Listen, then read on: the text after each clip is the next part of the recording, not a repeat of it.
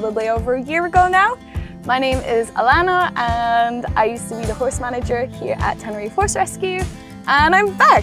So here's my first horsey time with Alana since. and I'm joined here with Asha from Hoofing Marvelous and the Barefoot Horse Magazine. Yeah. So this is actually a recap. A lot has gone on uh, in the past couple weeks at the Finca, which a few of you might know some of the news. But if you don't, please stay tuned. And if you want to see what happened, obviously keep watching. Uh, don't forget to like, comment and subscribe because every click of a button helps us push the, uh, push the videos further to help out our animals. Um, so we had a visit from the vet. I wanted to check up on a few of the horses since I've returned. A few things have changed and I just wanted her opinion because I trust her opinion fully on some of the questions I had. So now you'll get to see some of the videos of what went on from that visit and what her prognosis is and what we're going to change for the horses' care plans in the future. Um, obviously this is a bit of a prelogue to a couple other videos that are going to be coming out soon. So yeah, stay tuned.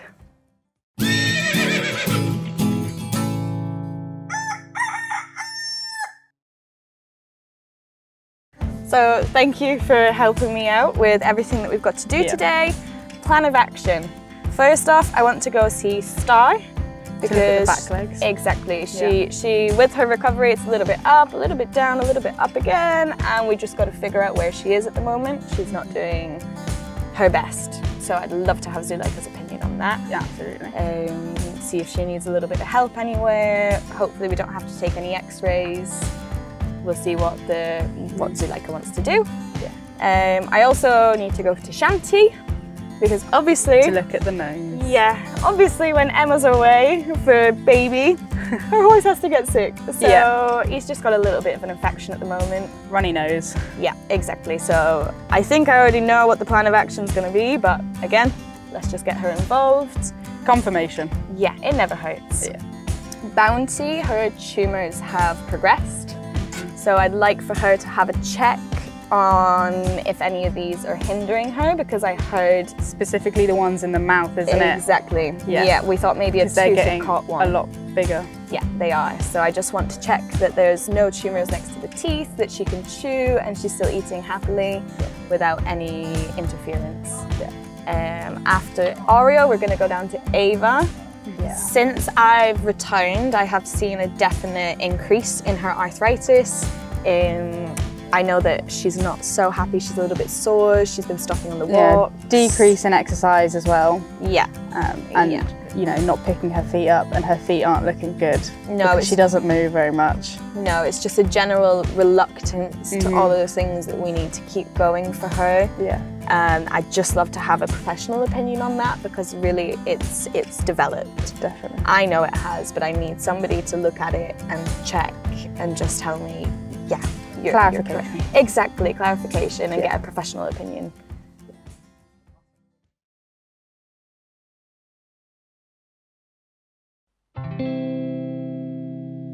All right, what is up with Lady? So she she's been getting more active in the field, starting to kick out uh, like White Boy and some of the lower down ones, and I'm not sure if she's overdone it. Uh, the girls said they started to notice she was less wanting to go out on the walk, and at the end of the walks, she was really like, I don't want to go anymore. And about four days ago, three days ago, sorry, thought she was colicking okay. because she was lying and rolling, but we kept like monitoring and actually she just wanted to lie down. So we thought she was trying to take the pressure off the feet. Um, spoke with Roz because she's been doing her back and forth with her, yeah. Yeah, and she was like, okay, that's quite normal for her when she's in pain. Put her on bute for a few days. So she's this is her third bute today, this morning. Just the one. Just the one sachet each morning she's a lot better now. She wouldn't even lift the feet and she was trying to kick you in the um, kick you in the head. She was doing proper ninja style stuff if you tried to pick out her back feet. She does have thrush, yeah, bite as well. I don't she, think it'll be so much the feet. I think it's just the fact that she doesn't want to pick her feet up because then she's got to put more weight on the front. But she's doing so much better than when she arrived.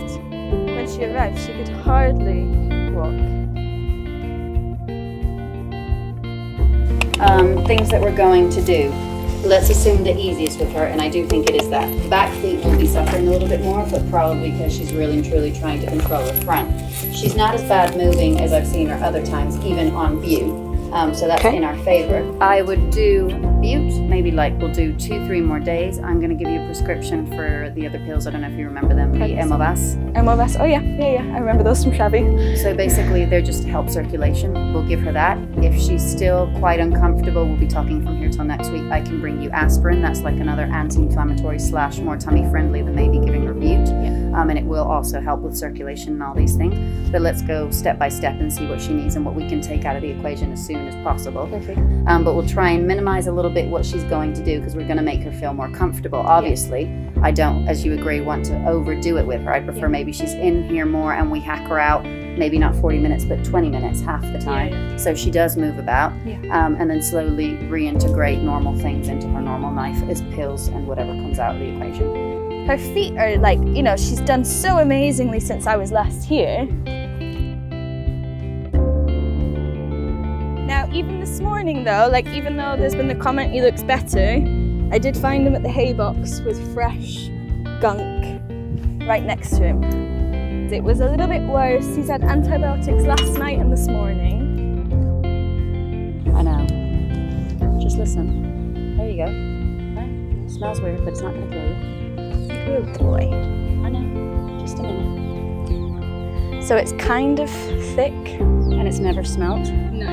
Not that we've found it out, every day now. Um, and it only ever comes out of the left, or it just mainly comes out? Only the left.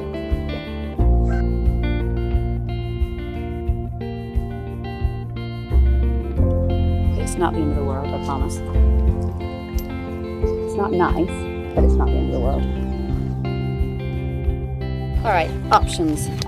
Um, one, I would continue with antibiotics. Is this the only episode he's ever had it come out through one nostril, or have we had this happen? Like from my experience, no, because never. I don't think I've ever had to come and look at Shanty, and I'd find yeah. it weird that she wouldn't have told me. Yeah. Um, so whether he's just got a little bit congested and it's coming out of one lung more than the other, okay, it's a little bit weird, but it's not impossible. Um, things that can cause unilateral discharge. Normally, it can be either because we've got a rotten root of some type of tooth that's gotten into a sinus um, and it's causing a, a, secondary sinus infection, which that comes out of one nostril, not out of the other. You can have a primary sinusitis when you're talking about horses with Cushing's and things like that. He doesn't seem to be the prime candidate for it. Um, but I would simplify. I would give him the antibiotics, maybe for something like a week to 10 days. We can talk about that. You can tell me how discharge goes, whether we continue after a week or not. Um, and if that's it and it's done, fantastic. If this repeats itself, then we, we might want to look into taking x-rays of his head, one to see how his sinuses are doing, one to see how the roots are doing. I can't feel any loose teeth right now, but that's not to say that it's just started to happen yeah. and the tooth is nicely firmly set in its place, but the roots are starting to cause a problem. Um, we can go from there, but let's go simple. Then we'll complicate our lives a little bit more. We start seeing episodes of, okay, he's had a little bit of snot, we've dealt with it with the antibiotics, and two months later it happens again, it coincides, it's the same nostril, then we're going to start to be a bit bothered. Yeah. Um, okay. But besides that, we'll be fine. Awesome, awesome. You know what it's like because it's shanty. I was like, oh no.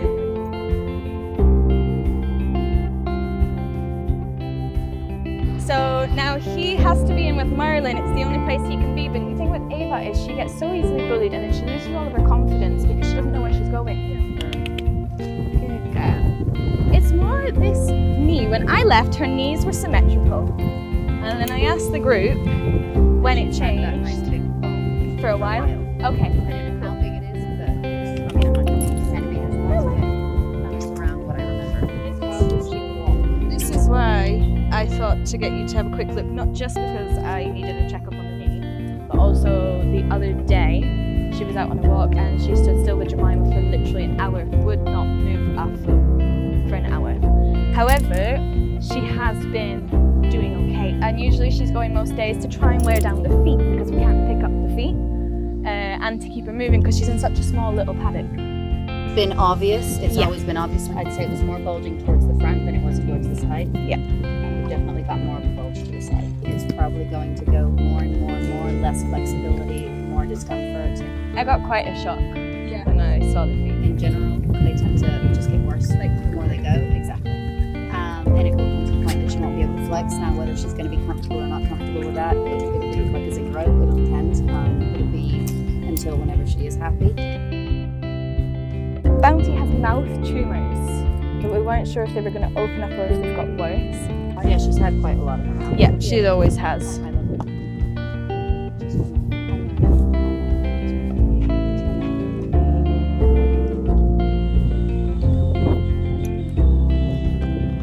Is a 100% tumor. Yeah. I got the bad feeling because of the feel that this one is as well. If it were only up to here, just cut it and be, be done. But I'm gonna have to invade her top lip. So we're gonna leave, leave a really big defect. And to cut this and cut only part of the tumor to expose the rest of it, it's literally like a cancer. Then it will start spreading on other parts of her mouth. Yeah. Like they will come back with revenge. Yeah. Um, in all fairness, what is revenge? A year, two? I mean, knows. But it's going to maybe improve quality of life, and we can try and resect the whole thing but I'd have to look at it really well. Like, is it possible to resect as far as how much has it invaded the top lip? If I'm going to be able to take it out and leave a normal lip, okay. If I'm going to leave half a lip cut out, then that's not going to happen. Yeah. Because I mean, as if we're being honest, it's not like she's got years and years and no. years and years anyway. So if there is something that can be done to make her more comfortable in those shortened years. Um, but yeah, I can yeah. double consult on this, see if it's maybe worth a whack at it. Okay. Um, and we can go from there. Awesome. Thank you. Perfect. Release the beast. So not a very long video, but it's a nice recap and like catch up on some of the ones that we've seen in past videos and Definitely. you know just some nice things and it's not always the best when we have vets coming but sometimes we have to do it and when we do do it it's best to see a, a, few of them at the same time. Oh definitely and you know people can see the horses that they're sponsoring, getting the care that they need, anybody who is supporting the sanctuary, everyone who likes, comments, subscribes, pushes the page. Yeah. It just shows everybody super transparently how we actually spend that money because yeah. it doesn't go on the, the buildings or the volunteers because we're freegan and everything is recycled. It means every single penny can go exactly where it's needed to the horse's care.